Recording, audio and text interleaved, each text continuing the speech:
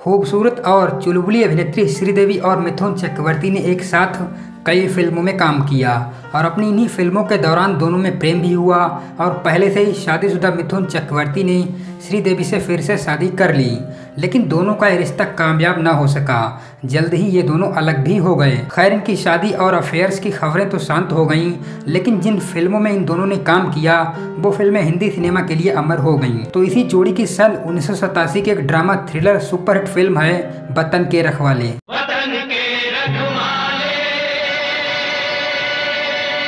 कौन तुम मैं राधा का पति हूँ। ये शादी नहीं हो सकती। हरामजादे तेरी हिम्मत कैसे हुई मेरी बीवी को भगा के लाने की? बोल। शराबी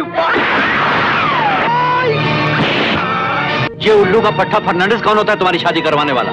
जब तक कि मैं तुम्हारा भाई अभी तक ज़िंदा हूँ। तो मेरी सब कुछ थी। मेरी ज़िंदगी थी मेरी सांस थी। सर पटक के मर जाएगा। फिर भी मैं यही कहूँगी तू मेरा पति नहीं है तू मेरा अगर दोबारा तुमने हम दोनों की ज़िंदगी में फिर से कोई गड़बड़ करने की कोशिश की तो मार मार कर तुम्हारी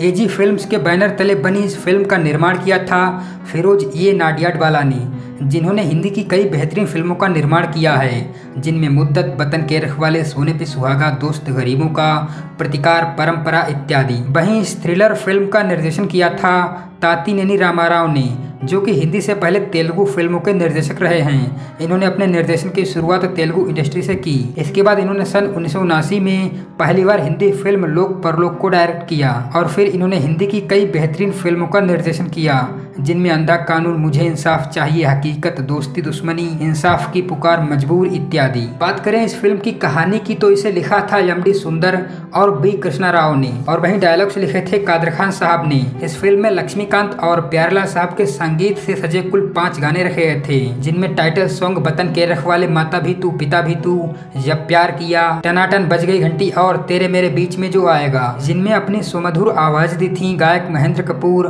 मोहम्मद अज़ीज़, सुरेश बाडकर, अनुराधा पौडवाल और कविता कृष्ण मूर्ति ने। बात करें इस फ़िल्म में अपने दमदार अभिनय से फ़िल्म को सुपरहिट करवाने वाले कलाकारों की तो इसमें शामिल हैं अशोक कुमार, सुनील दत्त, धर्मेंद्र, मिथुन चक्रवर्ती, श्रीदेवी, मौसमी चटर्जी, प्रेम चोपड़ा कादर खान, शक्ति कपूर इत्यादि।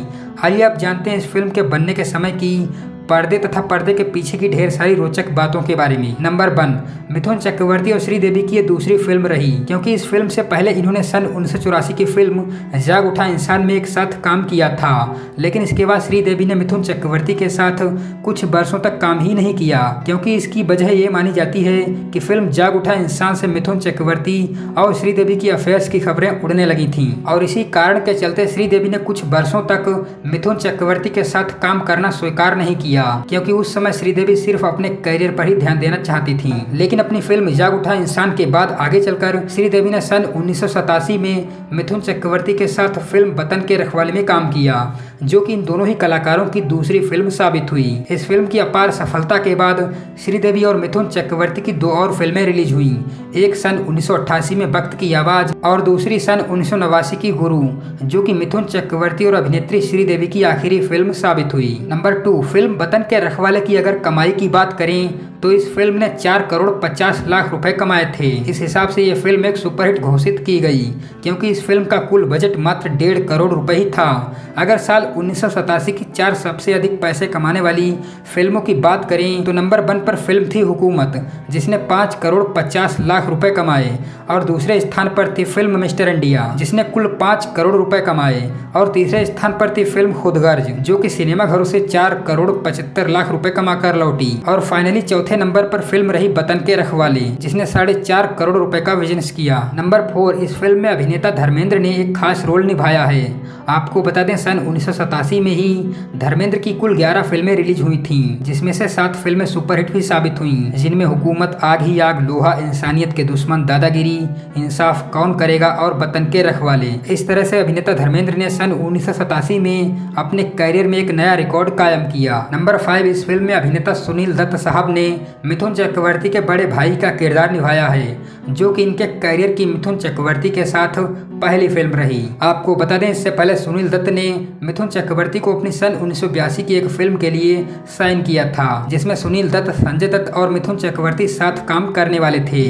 लेकिन किसी कारणवश सुनील दत्त साहब की इस फ़िल्म में काम करने के लिए मिथुन चक्रवर्ती ने मना कर दिया। इस तरह से मिथुन चक्रवर्ती के उस फ़िल्म में काम न करने की वजह से सुनील दत्त साहब ने उस फ़िल्म को बनाने का प्लान ही कैंसिल कर दिया। नंबर सिक्स, दोस्तों, अगर आपने ये फ़िल्म ध्यान से देखी होगी और उसमें भी खासकर श्रीदेवी के डायलॉग्स पर जरा भी ध्यान दिया होगा तो आप अच्छी तरह से समझ गए होंगे कि इस फ़िल्म में श्रीदेवी की आवाज़ एक डबिंग आर्टिस्ट द्वारा डब करवाई गई थी। वैसे बहुत से दर्शकों को ये बात पहले से ही मालूम होगी, लेकिन कुछ लोग ये भी बोल सकते हैं कि आवाज़ तो बिल्कुल ही श्रीदेवी जैसी लगती है। यहाँ पर मैं आपको क्लियर करने के लिए दो सीन दिखा रहा हूँ, जिसमें एक फ़िल्म बतन के रखवाले का है तथा दूसरा फ़िल्म नगीना का, जिसमें इन्होंने खुद ही अपनी आवाज़ डब की है।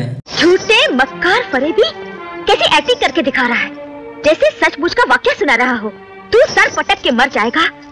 फिर भी मैं यही कहूँगी, तू मेरा पति नहीं है, तू मेरा पति नहीं है नहीं है। ये तो वक्त ही बताएगा भैरवनाथ मगर जाने से पहले मैं तुम्हें एक बात फिर बता देना चाहती हूँ। अगर तुमने मेरे सुहाग या उनके घर वालों की तरफ़ आँख उठाकर भी देखा तो मैं तुम्हारे दरअसल श्रीदेवी की लगभग 40 फ़िल्में हैं, जिनमें उस समय की मशहूर डबिंग आर्टिस्ट वेबी नाज से डबिंग करवाई गई थी, क्योंकि उस समय श्रीदेवी हिंदी के उच्चारण ठीक से नहीं बोल पाती थी। और वहीं दूसरी तरफ़, बेबी नाज की आवाज़ काफ़ी हद तक श्रीदेवी की आवाज़ से मिलती थी, इसीलिए श्रीदेवी की कई फ़िल्मों में बेबी नाज ने ही अपनी आवाज़ दी है। नंबर सेवन, जब यह फ़िल्म बन रही थी तब निर्माता फिरोज ए. नाडियाड वाला को यह डर था कि यह फ़िल्म फ्लॉप ना हो जाए, क्योंकि इस फ़िल्म की शूटिंग काफ़ी जल्दबाजी में की गई थी और बड़े कलाकार होने की वजह से फ़िल्म का बजट भी ऊपर जा रहा था। लेकिन सभी कलाकारों और निर्माता निर्देशकों की मेहनत रंग लाई और यह फ़िल्म एक सुपरहिट फ़िल्म साबित हुई। नंबर एट, इस फ़िल्म में अभिनेत्री मौसमी चटर्जी ने मिथुन चक्रवर्ती की भाभी तथा सुनील दत्त की पत्नी का किरदार निभाया है। दरअसल इस रोल को करने के लिए पहले मौसमी चटर्जी ने मना कर दिया था, क्योंकि मौसमी चटर्जी एट्टीज के दशक में अपनी छवि एक कैरेक्टर आर्टिस्ट के रूप में नहीं ढलवाना चाहती थी, लेकिन फिर इसी फ़िल्म में काम कर रहे अभिनेता धर्मेंद्र ने मौसमी चटर्जी को समझाया। तब कहीं जाकर मौसमी चटर्जी इस रोल को करने के लिए तैयार हुई। मिथुन चक्रवर्ती इस फ़िल्म में श्रीदेवी के पति के तौर पर काम करते नज़र आए हैं। अगर बात इन दोनों ही कलाकारों की असल ज़िंदगी की करें तो इस फ़िल्म की शूटिंग के दौरान वाकई में ये दोनों रियल लाइफ में पति पत्नी रहे थे, क्योंकि मिथुन चक्रवर्ती ने अपने और श्रीदेवी से लंबे अफेयर के बाद सन उन्नीस सौ पचासी में शादी कर ली, जबकि इस शादी से पहले मिथुन चक्रवर्ती योगिता बाली से पहले से ही शादी कर चुके थे। इस तरह से परेशान योगिता बाली ने मिथुन चक्रवर्ती को भला बुरा कहा और अभिनेत्री श्रीदेवी से अलग होने के लिए कह दिया। इस तरह से मिथुन चक्रवर्ती और श्रीदेवी का रिश्ता सन उन्नीस सौ पचासी से लेकर सन उन्नीस सौ अठासी तक ही चल पाया और बाद में अभिनेत्री श्रीदेवी ने सन उन्नीस सौ छियानवे में फ़िल्म प्रोड्यूसर बोनी कपूर से शादी कर ली। तो दोस्तों, ये थी मिथुन चक्रवर्ती की सन उन्नीस सौ सतासी की सुपर फ़िल्म बतन के रखवाले के निर्माण के समय की ढेर सारी रोचक बातें। भले ही इस फ़िल्म को रिलीज़ हुए आज बरसों का लंबा समय बीत चुका हो, लेकिन हम जब भी कभी इस फ़िल्म को देखते हैं तो वाकई ऐसा लगता है ये फ़िल्म आज भी नई हो।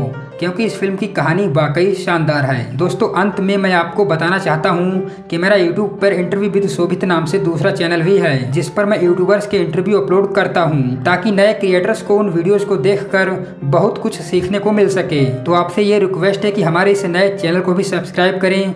लिंक नीचे डिस्क्रिप्शन तथा कॉमेंट सेक्शन में दे दिया है। और हमारा ये वीडियो कैसा लगा ये अपने कमेंट के माध्यम से हमें ज़रूर बताइएगा। वीडियो अगर पसंद आया हो तो प्लीज़ इसे लाइक और शेयर कर दें। तथा ऐसे ही बॉलीवुड से जुड़े इंटरेस्टिंग वीडियोज़ देखने के लिए हमारे इस चैनल को सब्सक्राइब करना ना भूलें। धन्यवाद।